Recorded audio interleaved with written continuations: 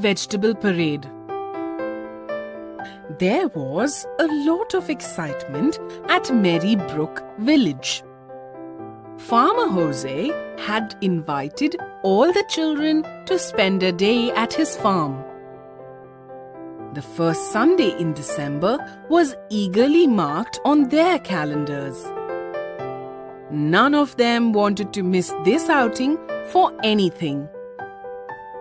4th December finally arrived. The day was bright and sunny. The air was fresh and a gentle breeze was blowing. It was a perfect day to spend outdoors. Children started arriving at the farm from 8 o'clock onwards. Some came on their cycles, some came walking, and those who lived far away were dropped there by their parents. After a healthy breakfast of sandwiches and cereal with honey, they began a tour of the farm. They visited the barn, and the older children even got to ride the horses, while the younger ones petted the ponies and made friends with them. They visited the sheep and goats in their pen and were excited to see the woolly sheep gamboling. They also visited the chickens and hens in the coop and the ducks in the pond. They had a picnic lunch beside the pond. Farmer Jose then led them up an old wooden bridge and down to the other side of the pond. This is where his vegetable garden was. The vegetables had prepared a special show for the children. They had spruced themselves up and rehearsed their lines over and over again. Their master, Gardener Green, had erected a stage. As the children settled down, Mr. Green came on stage, introduced himself, then came and sat down with the children and Farmer Jose. Pompous Potato was the first to come on stage. I am Mr. Potato, your favorite vegetable. Every day you have me in some form or the other. You can eat me with my skin. It is full of nutrients. But be careful. Don't eat too much of me or you will become fat. Tomato came next. I am tomato, the main ingredient of ketchup. See how nice and red I am? I add taste and color to the food. If you eat me, your cheeks will become a healthy red. I am good for your bones and blood. Hi, I am spinach. See how green and fresh I am. Popeye made himself super strong by eating me. I am full of minerals and vitamins. Very good for your blood, eyes, and brain. Hello, I am carrot, mostly orange, sometimes red. I am very, very good for your eyes and teeth. You can have me raw in salads or cooked. I grow downwards into the earth. You can just pull me out from the ground, wash the mud off me, and Eat me! Hi, I am cauliflower. I am mostly white in color. I am made of many tiny flower buds. You must wash me well before cooking and don't eat me raw. I help in building healthy bones. Hi, I am leafy cabbage. I can be eaten raw or cooked. I am very friendly. You can mix me with any dish you want. I protect you from many diseases, even common cold. Hello, can you see me? I am peas. I grow in lovely green pods and stay fresh and clean inside. Just split the pod and have me. I am very sweet when eaten fresh. Hello, everybody. I am Brinjal. Said a gruff voice. I come in many different sizes, from very small to very big. I come in a variety of colors too. I am very good for your blood. Never eat me raw. All the vegetables hold hands and sing a little song. Then take a bow and troop out of the stage as the children clap. Thirty happy faces thanked Farmer Jose for giving them such a lovely day. As they walked back to the gate, they had already decided to eat all the vegetables their mother prepared for them.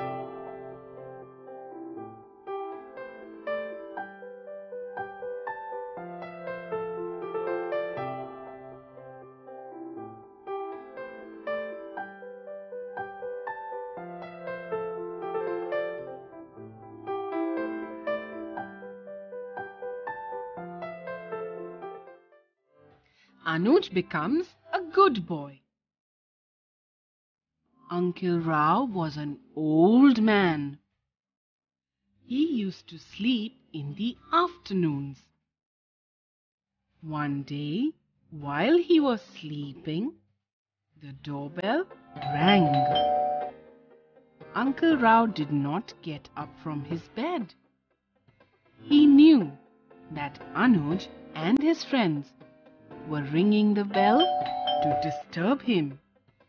Though he was not feeling well, old Uncle Rao could not rest. Anuj and his friends were feeling very happy. They had spent the whole day ringing doorbells of all the old people in their building. It was fun ringing the bell and then waiting for the old people to come slowly to the door. Before the door could be opened, the children would run down the staircase holding their breath. Uncle Rao stayed alone on the fourth floor, while Anuj and his parents stayed on the fifth floor of the same building. That same evening, Anuj was alone at home. His parents had gone to a party. He decided to watch TV in his parents' room. As soon as he stretched his hand to switch on the lights, he heard some whispering. Anuj got very scared. He ran out of the house. He ran down the steps. He needed help. He could only think of Uncle Rao. He banged Uncle Rao's door loudly. Tears were streaming down his face. He thought that Uncle Rao would not open the door. But the door opened. And Uncle asked him, What happened, Anuj? Why are you crying? Between sobs and hiccups, Anuj told him about the strange sounds in his house. Uncle Rao held Anuj's hand and told him not to cry. He then called some other people and together they went to Anuj's house. they caught two thieves in the house and handed them over to the police. Anuj felt very bad. He had spent the whole day troubling the sick old man. But that same man had saved him and his house from the thieves. He said sorry to Uncle Rao and promised never to ring doorbells to disturb anybody. And Anuj made sure that his friends also never rang doorbells to disturb anybody. Susan's birthday. Susan knew exactly what she wanted for her birthday. Exactly. Daddy, she said, I know what I want for my birthday. And what is that? asked her father. I'd like to have our family go somewhere together, she said. Where? asked her brother Steve. Let me think. Susan got excited. Remember the last time Grandma came to visit us? She took us to the aquarium. What fun we had! I miss Grandma. How I wish she could be here with us. I think it is a good idea to go somewhere on your birthday, their father said. Make up your mind about where you want to go, Susan. Susan thought about it. I wouldn't mind going to the aquarium again, she said. I think a new place would be better, Steve said. Maybe, Susan replied. She thought again. I think I'd like all of us to go to the airport, she told her father. That's a great idea, father replied. All of us would like that. Finally, 6th of September came, the day Susan had been waiting for. Her whole family went to the airport. Susan watched the people who were waiting to board the planes. They were all busy getting their bags checked. A voice on the public address was announcing about planes that were departing and arriving. But no one seemed to be listening. There were machines for everything. Susan had popcorn out of one machine. Steve had peanuts out of another. Her parents had tea out of a machine that made tea. Susan had never seen so many machines in one place before. Susan looked out of a big glass window. People were getting off a plane. There's Grandma, she said excitedly. Surprised? Steve replied. We knew that Grandma was coming. It was a surprise for your birthday. And you happened to choose the right place to go. I am so happy, Susan said as she gave her grandma a hug. I just couldn't stay away on your birthday. I had to get here in time to see you blow out the candles on your birthday cake. Grandma smiled. Today, when I blow out the candles, Grandma, I won't even have to make a wish. You are. Her voice trailed off.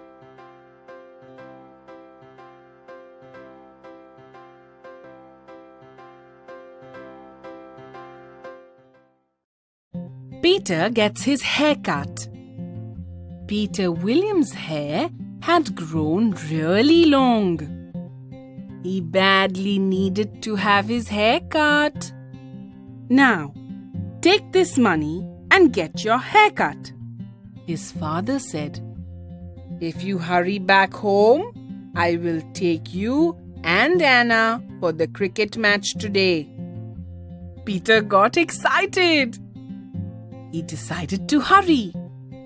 He wanted to go and watch the cricket match that day. Peter got onto his bicycle and ringing his bell merrily, he started off for the barber's shop. Bruno, the neighbor's dog, saw Peter getting onto his bicycle.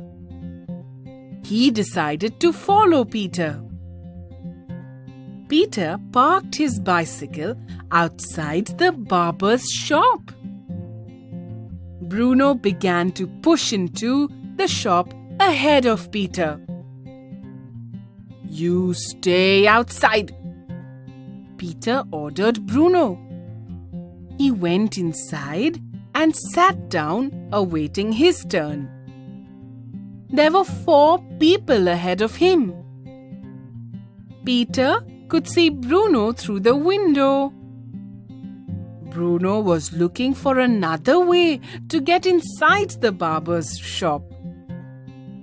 He went to the shoe shop next door. A few moments later, Bruno came running out of the shop. A man was chasing him. The man looked very angry.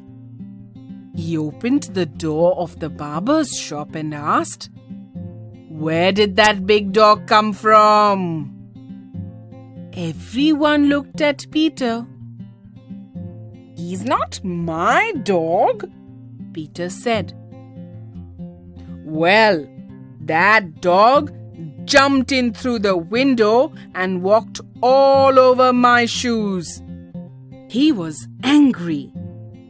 Then he banged the door loudly and went back to his shop. Bruno lay down on the pavement just in front of the barber's shop. Three men came to have their hair cut, but Bruno barked at them. The barber looked at Peter. Child, isn't that your dog? Peter looked down at his shoes and said, No, he just followed me. He lives next to my house. Well, the barber said, That dog is keeping people out of my shop.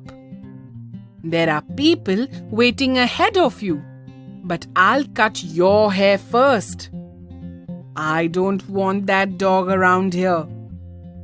Get up on the chair. Hurry! Peter got onto the chair and the barber started to work. Peter's hair fell everywhere. No one had ever cut his hair in such a hurry before. Soon it was over. The barber lowered the chair and Peter got down. He paid the barber and went outside. He climbed onto his bicycle and rode home as fast as he could. Bruno ran ahead of him. Anna was standing near the gate. Dad is waiting for us inside, she said. Dad looked at Peter's hair and nodded his head. It looks fine, he said. Good. You didn't take too long. See what you can do when you decide to hurry. Now, have your bath and get ready. Then we will go to the stadium. How did you manage to get your haircut so quickly? Anna asked her brother. Ask Bruno, replied Peter as he shut the bathroom door. At the stadium, Anna sat on one side of Mr. Williams and Peter sat on the other side. The wind felt cool on the back of Peter's neck.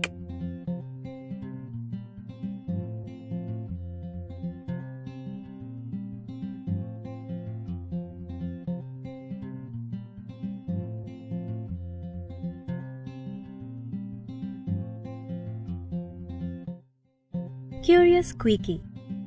Come, get into your bed, Squeaky, said Mrs. Squirrel.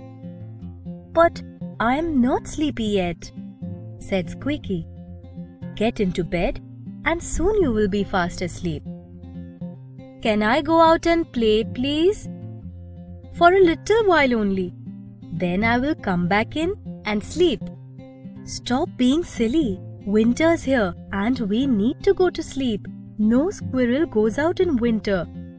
But I want to know what winter's like. Squeaky was getting very stubborn. Mamma just picked him up by his neck, put him into his bed, and sat there watching him. When she felt sure that he had gone to sleep, she scampered quickly into her own bed beside Mr. Squirrel, and soon both of them were snoring loudly.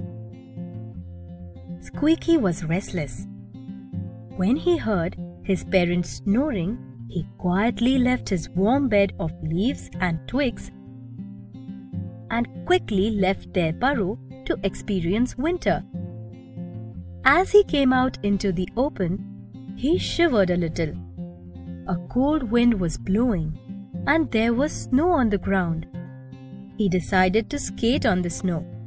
Oh, what fun! He squealed in delight. Polly the parrot saw him. Squeaky, what are you doing in the snow? You should be in your burrow. No, I came out to see what winter is like. Even you are out.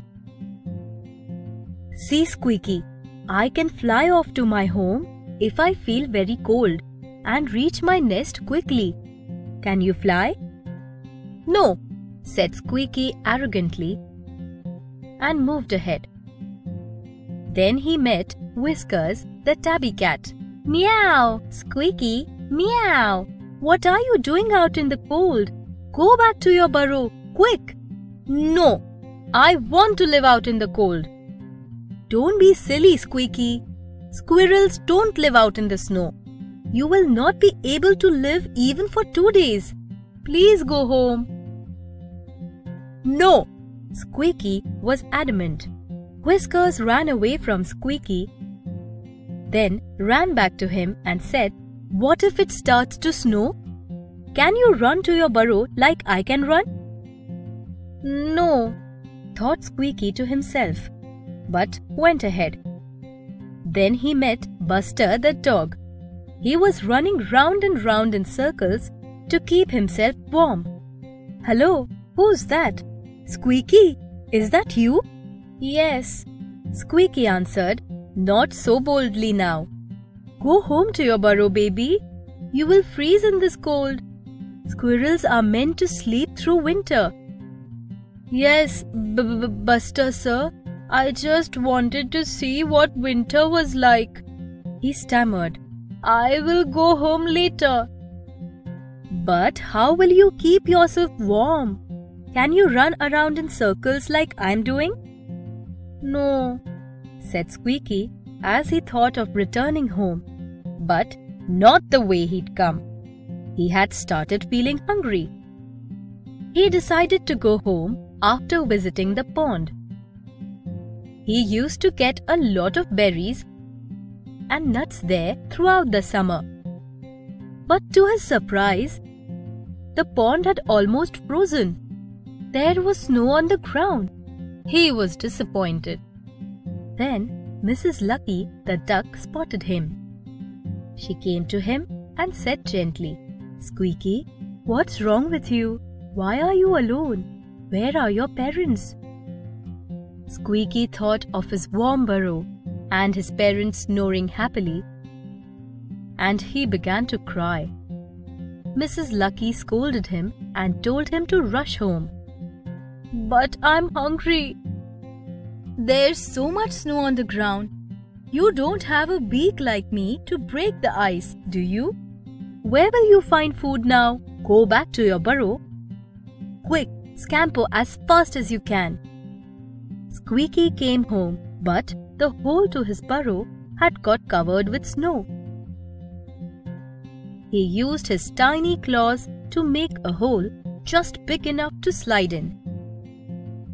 Mrs. and Mr. Squirrel had woken up by the noise. Squeaky, is that you? Where were you? Did you go out? But before they could come out of their warm beds to check, Squeaky had snuggled into his warm cozy bed of leaves and twigs and was soon fast asleep.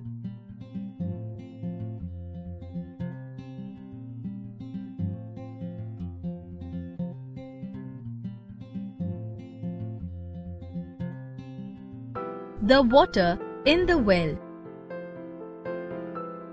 One day, Emperor Akbar was taking a walk by the river in his kingdom. His most intelligent minister Birbal was with him. A cool wind was blowing and they were both very relaxed and happy. Birbal was entertaining Akbar with interesting stories. Just then, a farmer and his neighbor came up to them with a complaint. The farmer fell at Akbar's feet and said, Your Majesty, I bought a well from this man and now he wants me to pay for the water. That is right, Your Highness, said the neighbor. I sold him the well, not the water in it. The emperor was confused. He asked Birbal to settle the fight between them. Birbal was quiet for some time. Then he spoke to the neighbor.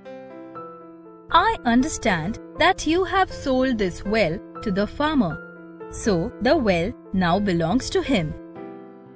That is right, sir, answered the neighbor. Birbal continued, But you have kept your water in his well. So either you pay him rent for that water or you take it out at once. The neighbor realized that he could no longer fool the farmer. He hung his head in shame and went away. The farmer thanked Birbal for solving the problem so easily.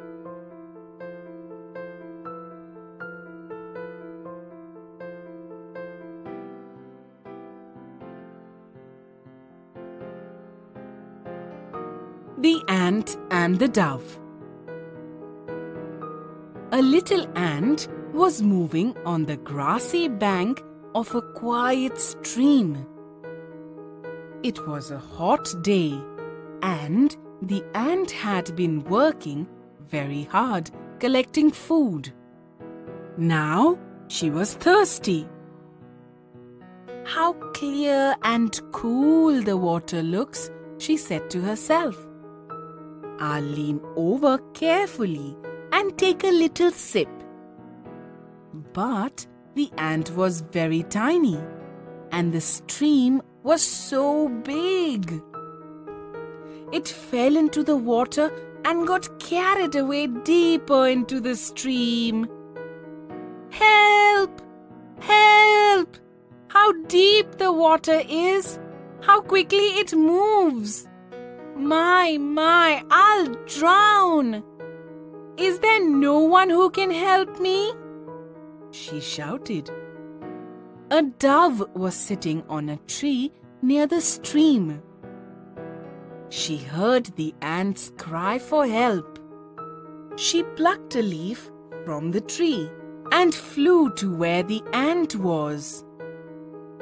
She dropped the leaf near the ant. The ant climbed on the leaf and floated safely back to dry land. Thank you so much, dear dove, for saving my life today. I will never forget what you have done for me. Maybe, just maybe, I will be able to help you someday. A few weeks later, the ant was resting near the tree where the dove had built a nest. There were three eggs in the nest. The dove was warming the eggs and sounded very happy. A hunter was passing through the forest. He heard the dove singing happily. He decided to catch her. He began spreading a net. Here's my chance to help my friend, said the ant to herself. I must save her and her babies who have still not come out of their eggs. Before the hunter could throw the net on the dove's nest, the ant bit him very hard on his foot. Ouch! The man shouted, holding his foot. Ouch! What was that? Hearing his voice, the dove looked up from her nest. She saw the net and immediately flew away. The hunter had not seen the nest. He went away. The ant was very happy. She thought to herself, Even a tiny thing like me could help save someone's life. The ant and the dove continued to live happily as friends.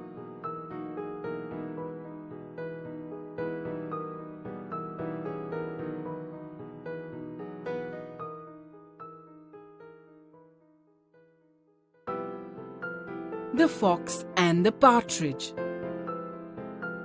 I'm hungry, said a greedy little fox, licking his lips. I hope I can get something really big today. Saying this, he trotted off to the woods to find himself a nice big supper. Soon he saw a fat partridge sitting on the top of a bush. He did not want to frighten her away. So he sat down beside the bush and spoke softly to her. What a beautiful bird you are! Your feathers are glowing in the sun. I have never seen a bird more beautiful than you. The partridge was pleased to hear this. She began to preen her feathers in the sun. How beautiful! The fox said, Look at the purple, the blue, and the green feathers. Wow! I wish I could see you when you sleep. I think you will look even more beautiful when you are sleeping. The partridge closed her eyes. Bounce! The fox had her in his jaws. Oh! The partridge said in a thin voice. Mr. Fox, Please tell me one more time how beautiful I am. Tell me once more how my feathers glow in the sun. Then kill me for your supper. The fox spoke. You are. The partridge flew away. She perched herself on the highest branch of a guava tree. The fox looked up at her. Now, why did I open my mouth? He asked himself angrily. And why did I shut my eyes? The partridge asked herself. The hungry little fox went on his way further into the woods, looking for his supper.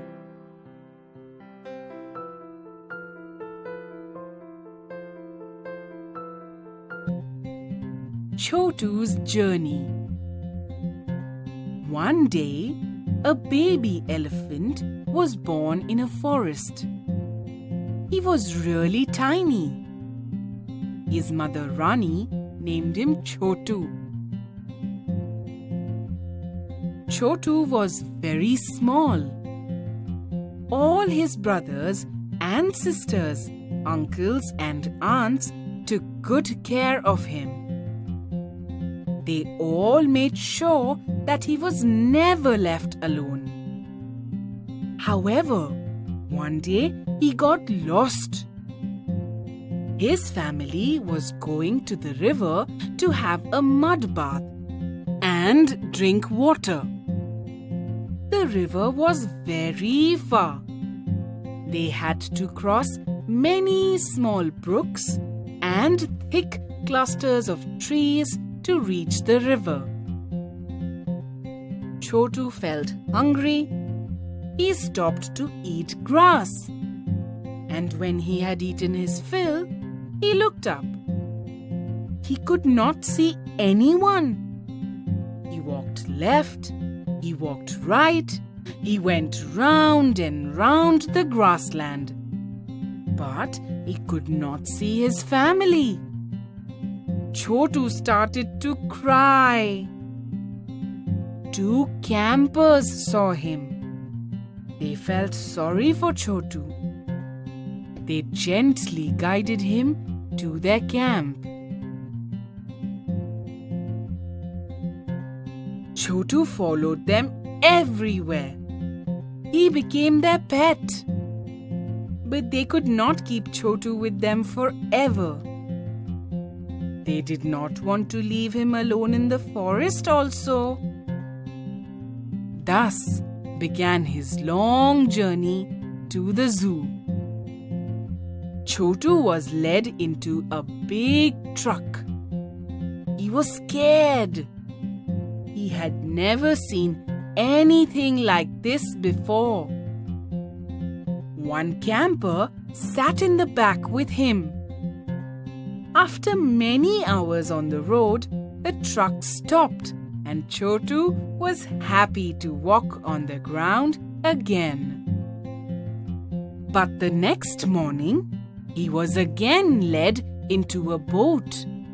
A very big boat. And before he could walk out, the boat's engine started with a loud roar. Poor Chotu. He was very uncomfortable. He could only see water all around him.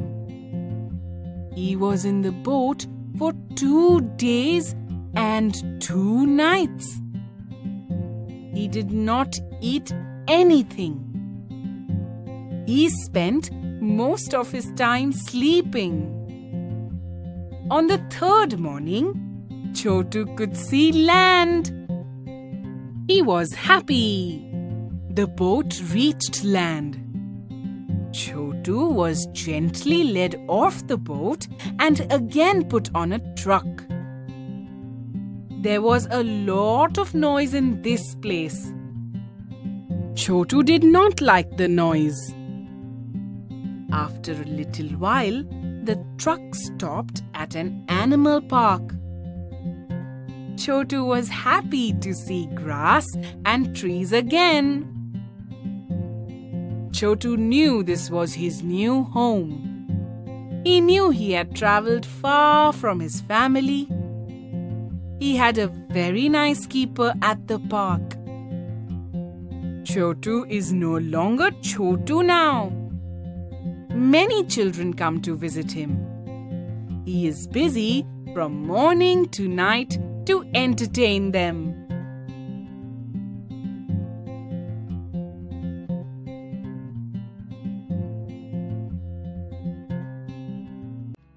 The Telltale Nails, a Tenali Raman story. It was well known that King Krishnadevaraya was fond of birds and animals. He had many beautiful and rare birds and animals in his palace. One day, a visitor came to the court with a strange looking bird in a cage. Bowing low before the king, he said, Your Majesty, I caught this strange but beautiful bird in the forest yesterday. It can sing sweetly like a cuckoo and can also talk like a parrot. It is not just as colorful as the peacock, but it can dance like one too. I have come to sell this bird to you. The king saw the colorful bird and said, Yes, this bird does look rare. It is also quite beautiful. I'll keep it. He ordered the court treasurer to give the visitor 50 gold coins and put the cage in the palace garden. Just then, Tenali Raman got up and bowing before the king said, Your Majesty, I am sorry to disturb you, but I don't think this bird can dance like a peacock in the rain. If you will let me, I would like to prove it to you. The king was confused. He nodded his head, allowing Tenali Raman to prove his point.